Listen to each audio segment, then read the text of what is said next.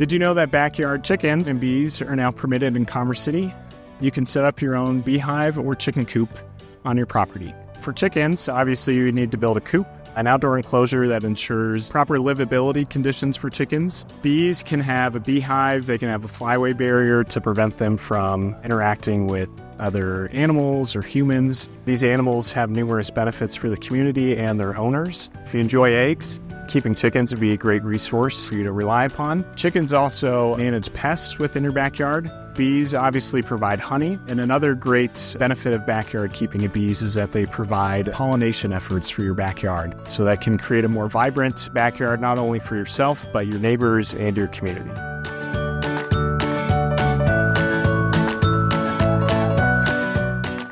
Hello, ladies.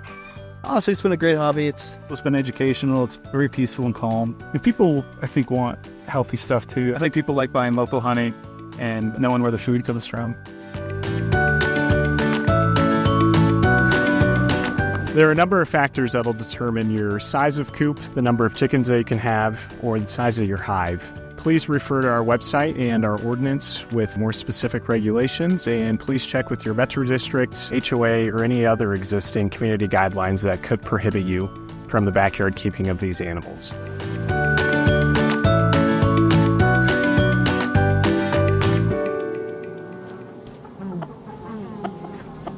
Mm-hmm.